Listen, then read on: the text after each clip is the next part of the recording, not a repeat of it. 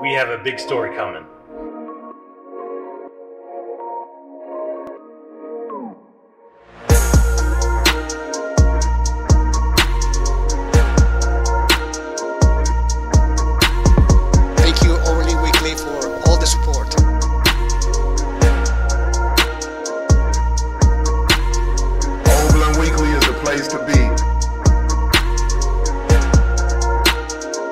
Real Oberlin stories, real Oberlin people.